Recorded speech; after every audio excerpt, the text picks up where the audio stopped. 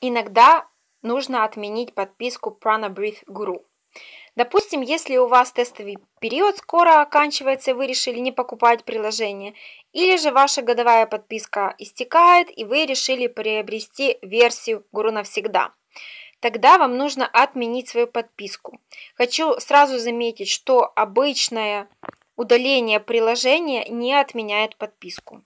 То есть для этого нам нужно зайти в приложение Play Market, выбрать пункт «Аккаунт» в правой панели, здесь пункт «Подписки», и откроется список ваших подписок, где вы найдете праническое дыхание. Здесь жмем «Управление» и «Отменить подписку». Только таким образом и только вы можете отменить свою подписку. Мы просто обычное приложение, мы подпадаем под стандартные правила Google. Хочу еще отметить, что когда вы отменяете свою подписку, Гуру-версия все равно вам будет доступна до конца периода подписки, но просто следующий платеж не будет списан. В принципе, вот и все. Приятных вам и нужных тренировок!